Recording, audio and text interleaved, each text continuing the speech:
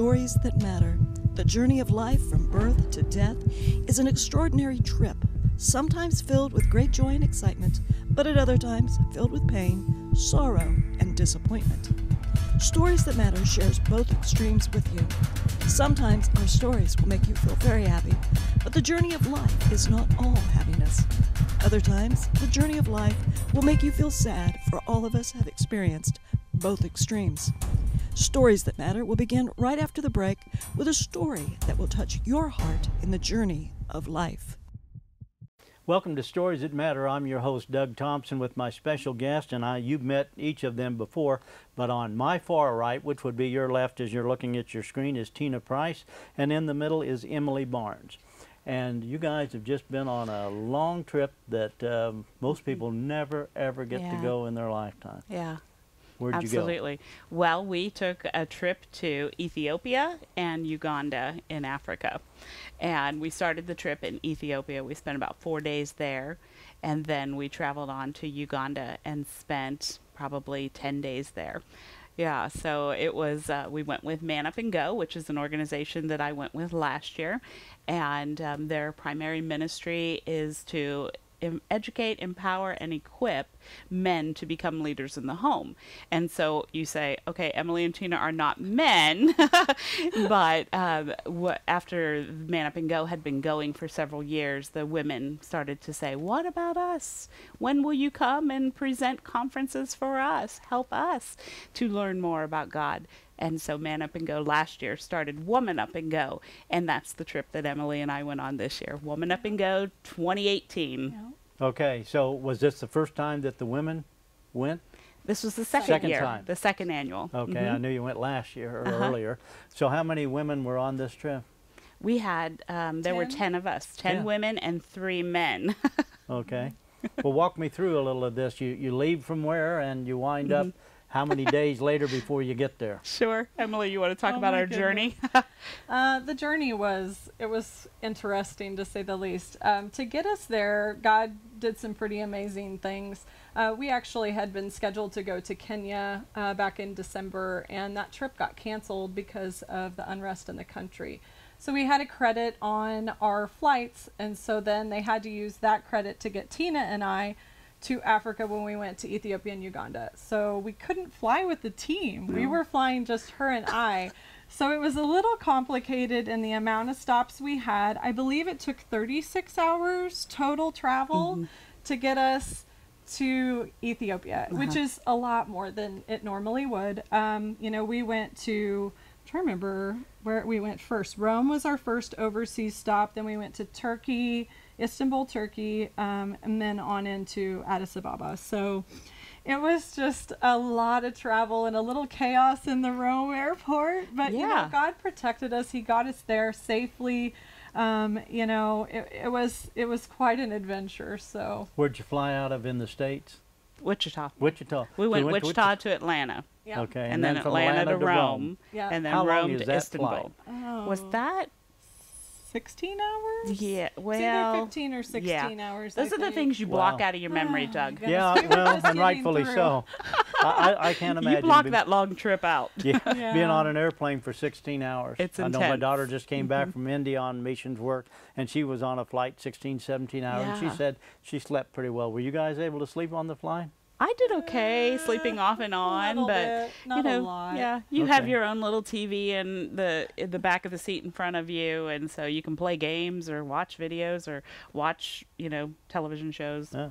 So Yeah, we And- like to talk too, so we And just of did course a lot we of talk. Well, probably annoyed all the other passengers around you. That they didn't get any sleep. That's their story. they gave them earplugs when they Yeah, got on the plane. okay, plane. that's good.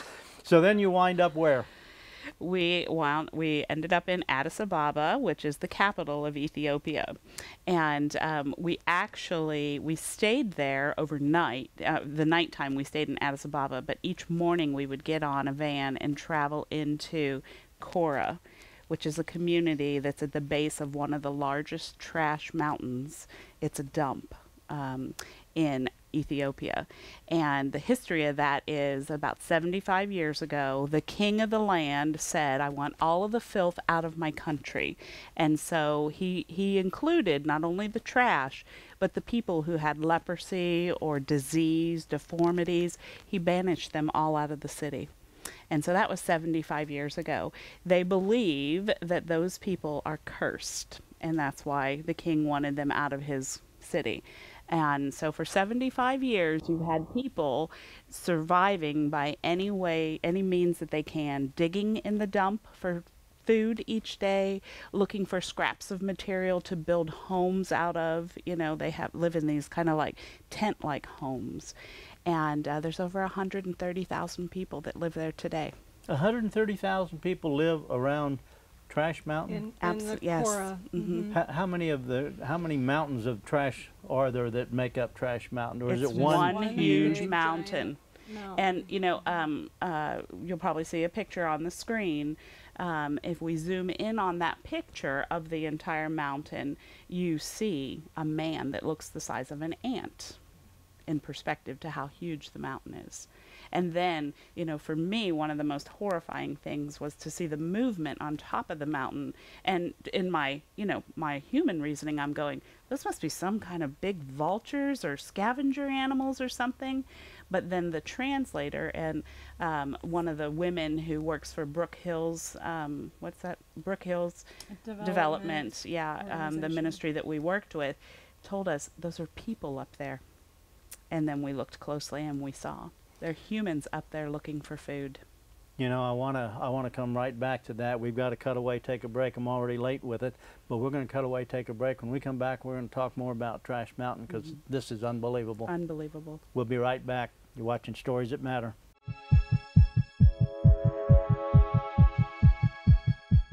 Welcome back to Stories That Matter. I'm your host, Doug Thompson, with Tina Price and Emily Barnes. And as you can tell as you're watching this, I'm looking at uh, this is Tina's phone, and we're talking about Trash Mountain outside of what's the name of the town? Addis Ababa, the capital of mm-hmm. Ethiopia. And the community's Korah. Mm-hmm. And if you missed the first segment, the king, 75 years ago in Ethiopia, determined that get rid of the trash. And the trash not only included physical trash, but it also included people. Mm-hmm. And uh, we're looking at one of the pictures. I'm looking at it here. It's on your screen right now. And so what you're seeing is that's Trash Mountain. And those very little things that look like little images at the top of the mountain are people, right beside the Yeah. uh, bulldozer who's pushing the trash up over the mountain and down to the lower part. And so this is how some people survive. 130,000 people, is that how many? Yes. hmm That's their best estimate right now that there are over 130,000 people living there. They still have a very active leper colony, so leprosy is still rampant there. HIV, AIDS, So any- women, women that are single with children. Yeah, they get cast out into Oh, yeah. that too Mhm. because they bel the people in um, Addis Ababa believe that those people are cursed. cursed and possessed or Just cursed Just is cursed. what the word that they used for us. wow wow and so where do these people live? Because they obviously come out here to get food as soon as the trash truck leaves. Why then they get food but where do they where do they live? Where do they get out of the elements? Emily what happens to them Well, they um, use uh, sticks and like tarps that I'm sure they pull from the trash mountain, and they build these little homes. Um, which I've got some pictures I've sent to you guys. You'll see um, some people in front of their little homes, but I mean it's nothing more than the size of maybe a double bed, like a the mattress of a double bed, and it's just um, you know a tent or a, a tarp put over four sticks that they've managed to you know make work together. And piece together. Yeah. piece together yeah. And it's you know it's a hard thing to see. It really it's like is but yeah there's another picture of some of them and they'll just be side by side um, multiple and they'll usually have just a sheet in front to cover for a little privacy um, well these are just like blue tarps that we would throw away when they get a little hole in Mhm. it or Yeah. something that's all it is and that's their that's, their, home. That's their home. Yep. Sheets of metal that they found in the dump, pieces of cardboard, yeah, mud, sticks. how how did you guys feel when you saw this It, Heartbroken? It broke me. absolutely. It did. It, broke me. I think knowing the history behind there was a there was actually a uh, slide that happened, a landslide that happened at that mountain um, a year ago, and it killed it over a hundred people in Over 100 2017. people. Trash sliding and The Yeah. trash Buried slid them like and- an And avalanche. it did. And the hardest part for me, I think, was knowing that they died there and that's where they stayed. I mean, they, They were just buried covered over. there. Yeah, Mhm. absolutely. The bulldozers came in and just pushed all the trash, bodies included, right back up into the heap. How, how does a, an organized, I'm asking some questions you've already asked yourselves, but how does an organized government allow this, do this? They are just forgotten people. I have to tell you, there's a sunset that I saw. Um, it was a couple days into the trip when we were walking to one of the other organizations, uh, Carry 117, that has a place there. And I'm just looking down this road that leads straight to the trash mountain, and the sun is setting behind it.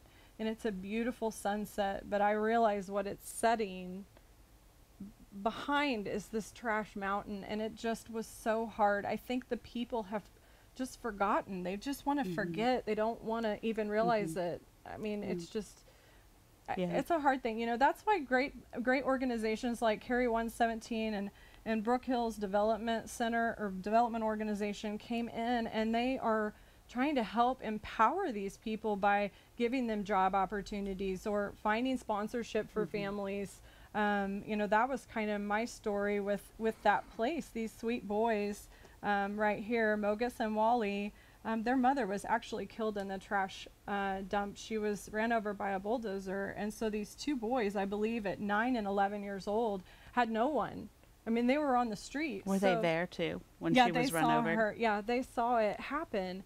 So for them, and then uh, besides uh, the one in the yellow, if you show the picture, um, it's on the screen now. Okay, he has a heart disease, and so I was so pulled to help these boys um, with sponsorship, and, and there's multiple families that sponsor them because of Mogus's heart condition. Um, and me being someone who's seen heart disease a lot in my family, I just felt very pulled to help them. But I couldn't imagine losing my mother, let alone seeing it um, happen. And so these boys are so precious, and you'll see their sweet smiles on their face. Um, they're just so loving. In fact, they actually told me that they loved me, and I thought they don't even know me, you know. And they just they're full of love and joy, and and they know that God is helping them by getting them out of this uh, situation that they lived in, and they live in a nicer little home Yeah, what did Mogus say? What did Mogus say when someone asked him about if he was afraid of dying? Because he Oh, literally needs a heart transplant, right? Yes, he said, "I'm not afraid to die because I know where I'm going." Awesome. So you know, but he have- knows where he's going Yeah, he because knows Jesus. of Brook Hills Development. They're sharing Jesus with these people. Their So only w- hope. Would Brook Hills Development be a, like a sponsor for these two they, kids? they're the ones that funnel the money in for them and then manage it to get them into a safer Mm-hmm. home. Uh, the boys actually have a um, what's it called? A nanny that stays with them and it helps with all the medications and different things. that Brook. Hills employs. Mhm, Yeah. Yeah, the Brook Hills is on the ground. Yeah. I mean, their office is right there in They're Korah. on the bottom of the mountain. Yeah. So these boys right here, they're far better off Oh than, yes. than most of the people because they're dressed reasonably Yes. uh, very well Uh-huh. and they look uh, as though they've been eating. Yeah. Most of the people that are living on That's Trash right. Mountain don't Yeah. have this sort of an Yeah. appearance. Am I right? Yeah, They don't uh-huh. have clothes. They they Uh-huh. they don't have. uh, They have what they found in the dump. Yeah. That's a lot what of they it's have. Rags. Well- and- Yeah. Yeah. Yeah. All right, we got to cut away, take a break. You're watching Stories That Matter. We'll be right back.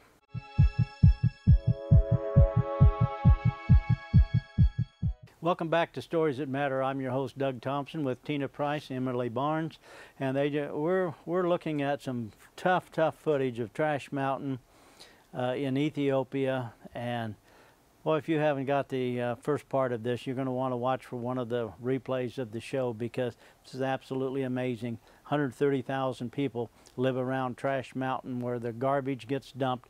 130,000 people are just abandoned. Nobody else cares about them. Tina and Emily were there and got to see this for themselves. Mm-hmm. You knew about Trash Mountain, the concept of it, mm-hmm. but until you actually saw it. You cannot even comprehend it. You're- You can't can't. I mean, you just stand there and every one of your senses begins to reel as you're trying to process what you're seeing. In fact, we had promised we'd blog while we were away. Couldn't, Couldn't do do it it. because we couldn't process what we were taking in. It was Yeah. so inhumane, so unbelievable that you couldn't put it to words. But what was amazing is like Emily talked about the joy that you saw in the people's faces and the Because- love. Um, the joy, I believe, was because we came. Somebody we cared. came to them, and that conveyed to them immensely that they are cared about. And over and over, we told them, We are here because we prayed, and God told us to come and tell you that you are not forgotten. When we did the VBSs um, at Brook Hills, it was just to see those children sing and worship the Lord the way they did, and to see their eyes, you know, just light up. I mean, it's Christ that's doing that, and it's, if anything, it's them seeing Christ within us, loving on them. It was just such a beautiful thing. Mhm. It was. It was absolutely beautiful. We got to do some home visits. Brook Hills Development has a program for pregnant women because obviously there are lots of pregnant women. In fact, most of the women i- that live in Korah around the Trash Mountain are. Um, have been given over to prostitution. So they're being trafficked, and that really is the way that they're making their money. Um, so they have a, a program for pregnant women where they go in and they teach them some childbirth, some prenatal care. They have some medical care for them. They have doulas that are kind of like midwives that go in and you know keep checking on them and their baby, making sure they're having food for nourishment. We got to meet this one woman named Workay, and uh, when we first met her, she just looked, she was sitting cross legged, slumped over, looking very empty inside. Not just hopeless, but void mm-hmm. and empty. Her three year old child was sitting quietly beside her. I'm sure he probably is malnourished and had no energy to move. So he had no toys or electronics around him like American children would have. And then in this heap of blankets off to her other side, we saw some movement under a little mosquito net. There was an infant child, only three weeks old. Anyway, so we, um, I had the privilege of sharing with Work A. She is a prostitute. She has been abandoned by her family. She has been abused as a child. And you know my story, Doug. I shared some of my childhood abuse story with her. And then I asked her if she knew who Jesus was. And then we talked a little bit about, I shared the gospel with her.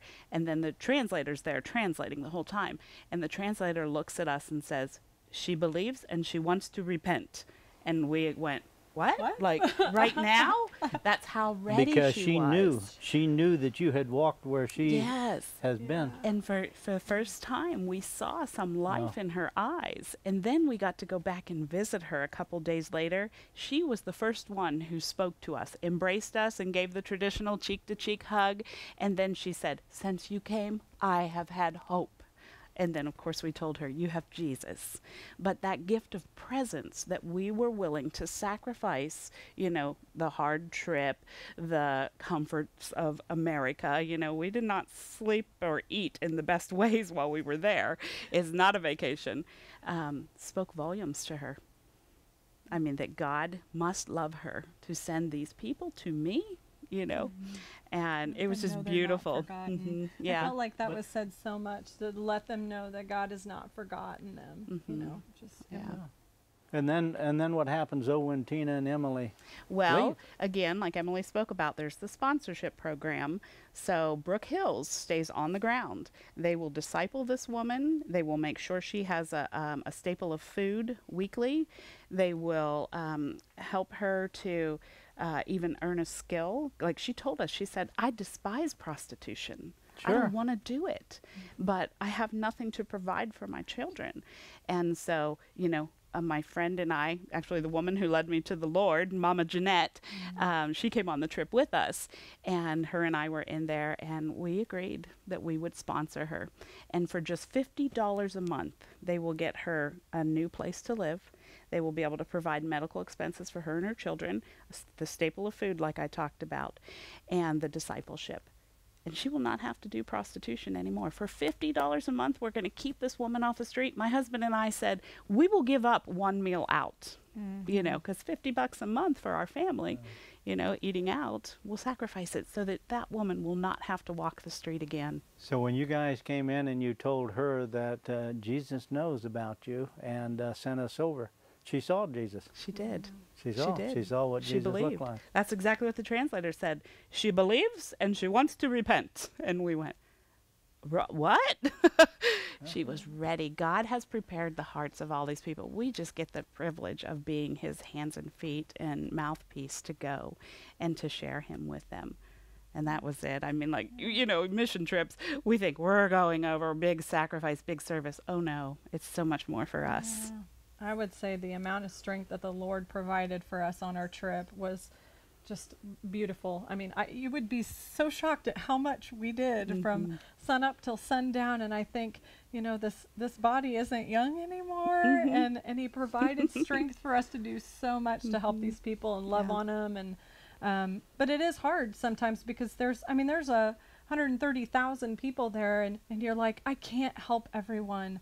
But God didn't ca- tell, call each of us to help everyone. He called each of us to help someone. Yeah. So I think you really have to look at it that way mm-hmm. and, and going in mm-hmm. and, and doing what He calls you Yeah. specifically to Yeah. do to help. Well, I would think there would be that feeling going into it when you walk over and you look at this and you see the people on top of Trash Mountain digging through, and you say, well, what what can I even do? Mm-hmm. How where Oh. do you even mm-hmm. start? I felt like I was constantly on the brink of falling, toppling over into despair. But you mm-hmm. know, the Lord kept reminding me. In fact, He gave me a vision where I actually saw Jesus walking through the whole mountain, in and around the mountain. He's there. He's there. He is there, and like we talked about, Carry 117 employs women off of Trash Mountain to make leather bags and um, different toilet Purses and purses and things, stuff like mhm. that.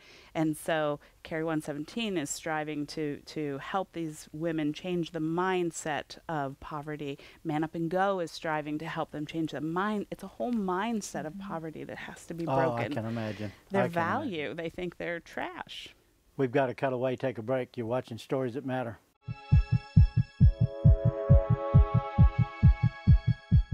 Welcome back to Stories That Matter. I'm your host, Doug Thompson, with my special guest, Tina Price and Emily Barnes. And we've been talking about Trash Mountain, your trip to Ethiopia, and what appears to be the hopelessness of, of 130,000 people. But uh, sometimes people like Tina and Emily come in and they help one. And that one helps uh, two others that she had a three week old and a three year old. And then some others are coming in to help a few more. And that's how you get into that fight tell me about this here because we don't have a whole lot of time. But are these things that the 130,000 people, somebody in that group of mm-hmm. 130,000 made, Made, some of these yeah. multiple people? Yeah, this happens in Ethiopia and Uganda. Um, in fact, when we were in Uganda, I had a necklace on, and this woman grabbed a hold of me so tightly and jumping. We were jumping up and down, and she was celebrating and saying something and pointing to my necklace. She made my necklace. Yeah. And so that was beautiful. Um, but uh, there's a picture of a woman weaving on your screen. They make these little um, trivets. Are these called trivets? Yep. They, you know, sell those in the marketplaces. Like I said, Brook Hills Development and Carry 117 are doing what they can to market this stuff out so that these artisans, let's call them what they are. I mean, they're artisans. They're designing and, and creating these jewels. Provide Can yeah, to provide for their family. Yeah, so it's awesome that you can be a part of supporting fair trade, you know, um, organizations that are, are getting it out. And there are Etsy shops. You know, we can uh, give you the links to some of that if you want to put it up on We'll put it up on the, the screen. screen. We'll put it up on the screen. Great Wish we- Christmas wish- presents. Yeah, yeah, absolutely. Wish we had more time, but that's going to take care of it for stories that matter. And you can watch for uh, part two that'll be coming up uh, probably the week following this. And thank you for watching. Special guest Tina Price, Emily Barnes. Thank you.